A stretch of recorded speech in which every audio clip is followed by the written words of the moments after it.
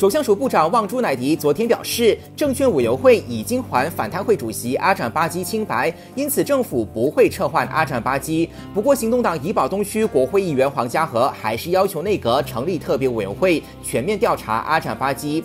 也是国会公账会主席的黄家和昨天在辩论元首遇辞时表示，阿展巴基持股案不应该就这样落幕，相反的，内阁应该进一步调查，而且将调查结果呈给国会，毕竟事关反贪会的首号人物。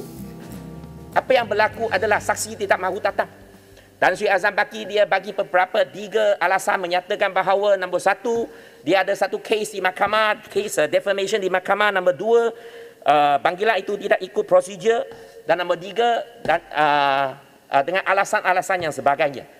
Dan apa yang berlaku, pengurusi jawatan kuasa pilihan khas parlimen telah pun membuat keputusan, oh, uh, nampaknya ada pantahan daripada Tan Sri Azam Baki, so saya tidak panggil lah what is happening to our parliamentary reforms and the parliamentary system. Apa yang berlaku terhadap pembaharuan parlimen kita?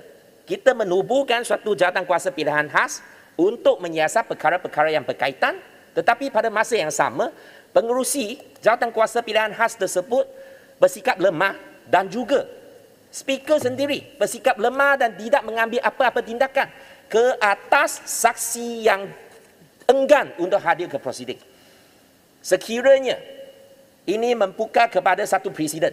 Sekiranya ini membuka kepada satu presiden apa yang akan terjadi dengan saksi-saksi yang akan dipanggil oleh PAC pada pada uh, uh, pada pada masa depan oleh jawatan kuasa pilihan yang lain pada masa depan.